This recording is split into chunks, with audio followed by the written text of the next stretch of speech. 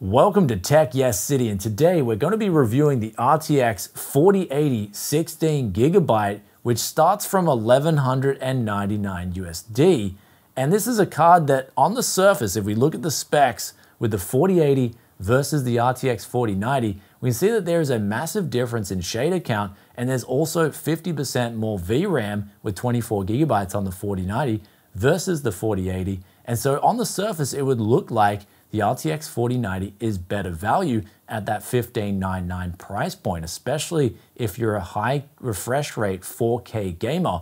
Though as always, before I'll provide my opinions on this graphics card, I will go through the numbers with you guys here today, the 1080p, 1440p, and 4K raw rasterization numbers, as well as touch on the DLSS 2 and 3 numbers and ray tracing numbers. So let's get in first of all with the 1080p gaming numbers. And here's where I only decided to test two games, and that was Far Cry 6 and also Horizon Zero Dawn. And as you can see at these resolutions at maximum settings, even with the latest and greatest 7950X with 6000 MHz DDR5 memory, we were pretty much CPU bottlenecked. So just like in my RTX 4090 review, the RTX 4080 is not, in my opinion, a 1080p gaming card. I think if you want to get these graphics cards for 1080p gaming, you are going to be leaving a lot of money and also performance on the table that could be better utilized elsewhere, especially in the own realm of PC gaming. Though let's get into those 1440p and 4K raw gaming numbers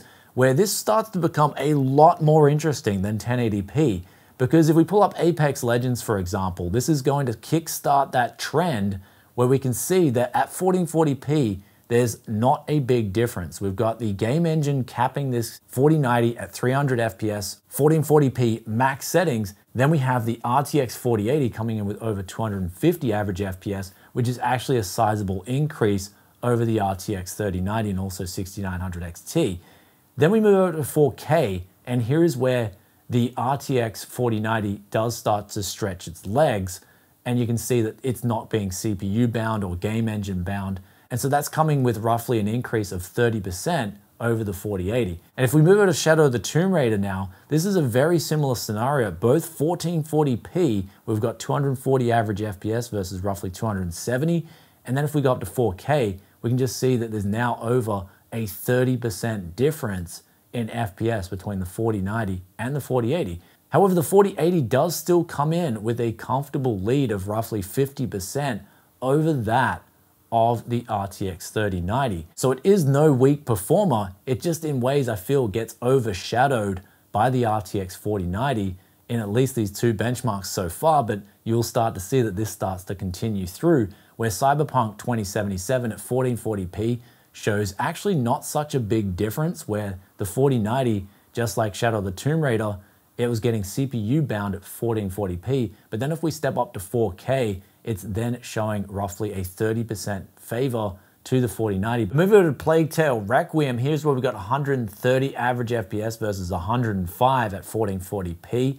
So a little bit over a 23% difference there between the 4080 and the 4090 and then stepping things up to 4K actually showed a 38% difference with the 4090 over the 4080, and then the 4080 comfortably beat out the 3090 by roughly 35%. Though on to Far Cry 6, here's where at 4K we were starting to be a little bit CPU bound, so the 4080 did come close to that 4090, and then at 1440p, it was pretty similar to 1080p, where it's just not worth it in this game. This does need a CPU, that's ready for some SRS BIZ. Well, that's serious biz. The last title that we're going to pull up for raw rasterization numbers is Horizon Zero Dawn. At 4K, this showed actually quite a beatdown with the 4090 over the 4080, scoring roughly a 40% difference in raw FPS.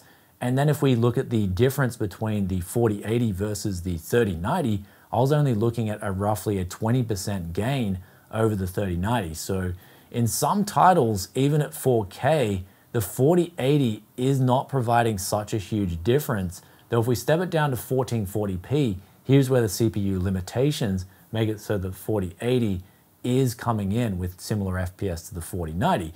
Though after looking at those raw gaming numbers, there's one more very important metric that I have to throw in for discussion, And that is the power consumption figures. And here's where if we pull up the Easy Bench benchmark, which is a 4K, really intense Unreal Engine 5 benchmark, this is where I saw some of the best power efficiency. Well, in fact, it's actually the best power efficiency out of a graphics card that I've ever seen. The scores that were showing up here beat everything else out on the chart except for the RTX 4090, but even compared to the RTX 4090, it was offering better per watt, especially per FPS or per point in this benchmark.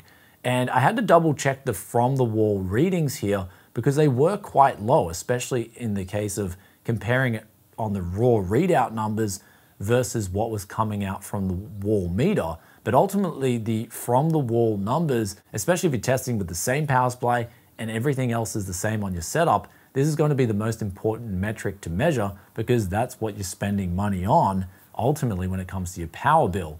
So these from the wall numbers were extremely impressive and what made it even more impressive with the 4080 was that it responded quite well to undervolting.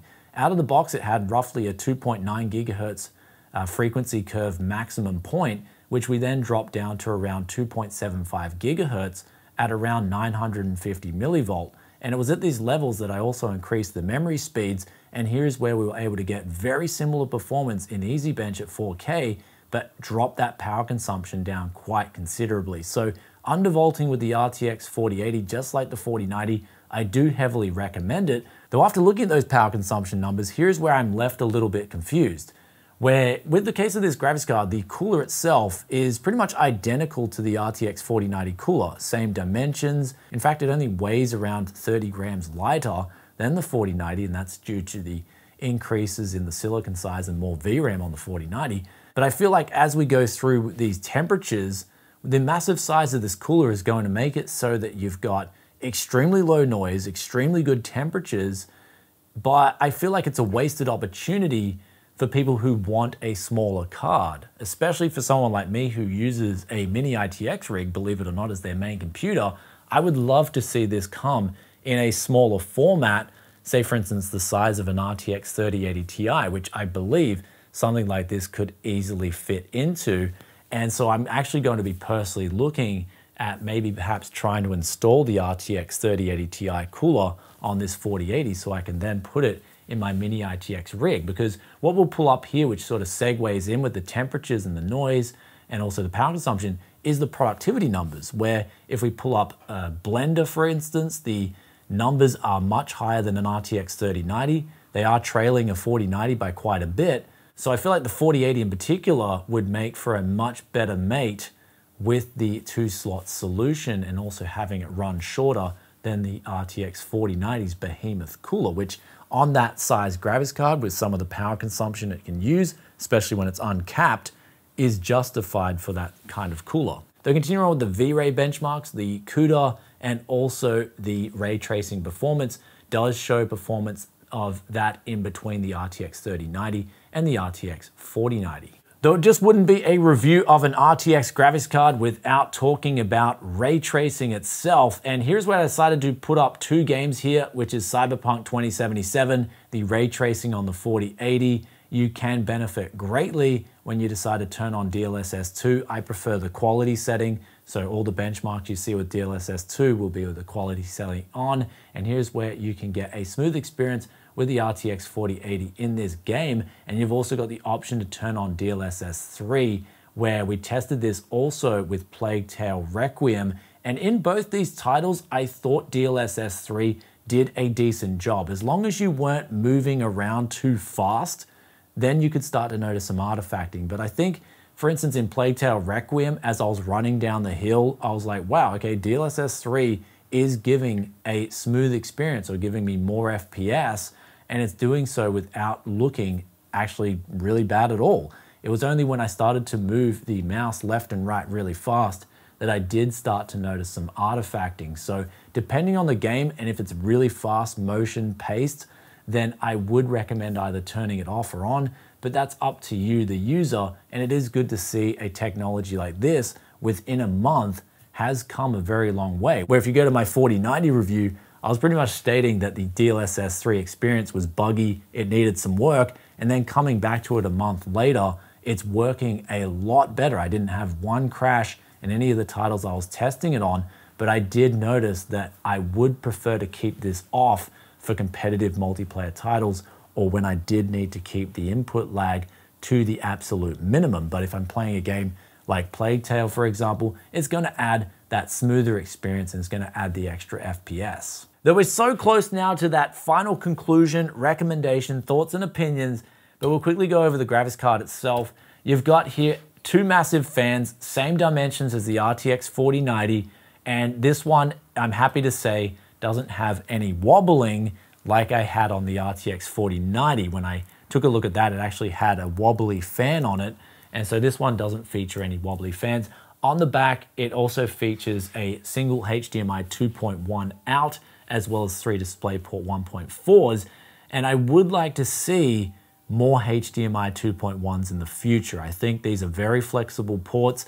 They work with the 4K OLEDs. It's what you need for those monitors, especially if you're buying the current generation. And of course, HDMI 2.1 will work brilliantly with a lot of the monitors that are going to hit the market in 2023. In terms of the RTX 4080 design, it's got the logo, the GeForce RTX, which lights up white, as well as the little X on the front-facing panel lights up as well with the white LED. And then you've got your 12 volt 16 pin connector, well, 12 bigger pins than the four sense pins, and that requires three eight pin PCIe connectors if you're using the adapter. And so this differs from the 4090 in that that needed four 8-pin PCIe's, this only needs three 8-pin PCIe. Also, when it comes to this connector itself, I haven't had any problems. I've tried bending it at ridiculous angles.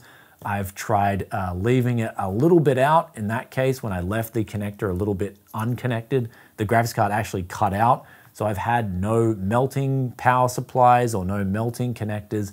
And I've even, for a lot of my testing, been using piggyback 8-pin cables, even on the 4090, and I've had absolutely no issues, and that's even with an 850 watt power supply. So if you're getting the RTX 4080 and you've already got, say, an 850 watt power supply too, you don't have to worry about upgrading your current power supply. You should be good to go. And now with all the data out of the way, it's time to give you guys that clean cut conclusion, my thoughts and opinions on this GPU right here.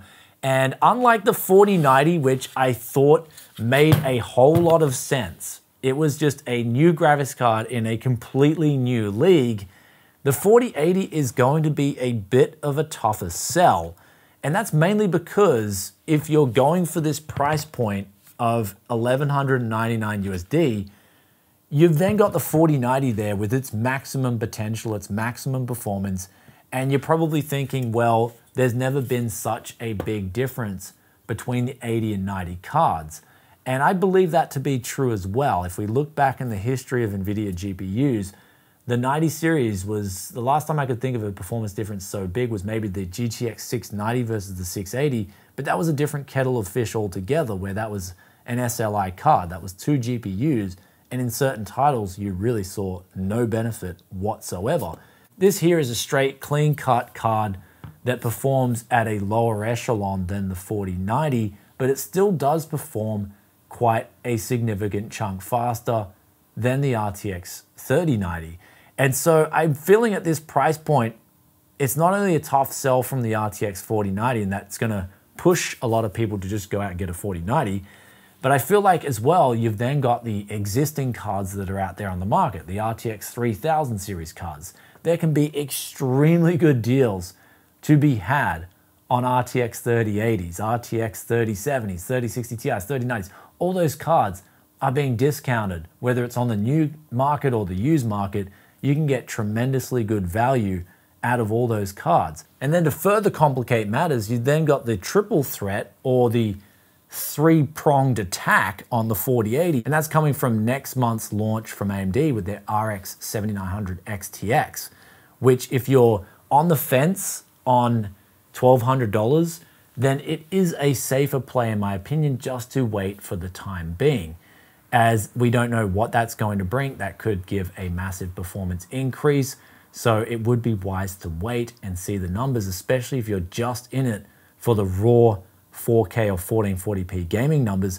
That would be a wise decision just to wait and see what that brings to the table. There's no harm in waiting a couple of weeks. Uh, this thing is going to be on the shelves, I'm pretty sure, in a couple of weeks as well. I don't think the appeal is quite there as it is as the RTX 4090. And so there it is with the RTX 4080. It's a good card, but it's not a great card like the 4090 was when I reviewed that. And I feel like that combined with all the other factors that we spoke about in today's video make it so that there's so many shadows being cast over the 4080 where its biggest shining point was that power efficiency. And I feel like with the size of this cooler, it was a missed opportunity as well for mini ITX builders, uh, myself included. So I would like to see smaller editions of this card hit the market, and then I'll be getting pretty excited for it and what I can do with it, as opposed to the 4090, since it's the same size as the 4090, is gonna fit into the exact same cases that the RTX 4090 is going to do. And so if you got the $1,200, might as well just save up and get the $1,600 card that has more than 33% total performance.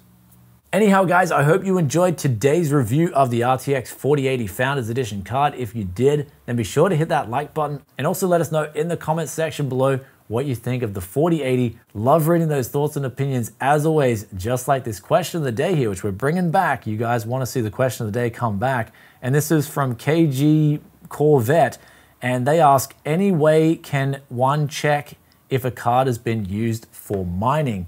So if you are quickly inspecting a graphics card and it's not even hooked up to a test bench, for instance, the easiest way to check if it's been on a mining bench is to look very closely at the fans. For instance, I've got this RTX 2060 that I got here for an extremely good price off the internet. It works fine, but when I closely inspect underneath the fans, I can tell that this hasn't been in a case. It's got an incredible amount of dust buildup, and that's because it wasn't in a case with any dust filters. Most of the time, a gaming card is going to be in a case with dust filters, so it's going to have a lot less dust on it than a graphics card that's been used on a mining bench, especially with RTX 3000 series cards as well as RX 6000 series cards. Though when it comes to buying cards that have been used on mining test benches. I'll be making a full guide so you guys don't get ripped off, you don't get hosed. I look forward to bringing that one for you. And so if you want to see that the moment it drops, just like any other tech video at Tech Yes City, be sure to hit that sub button, ring that bell for the notifications to get the videos as soon as they drop, and I'll see you in the next one. Peace out for now. Bye.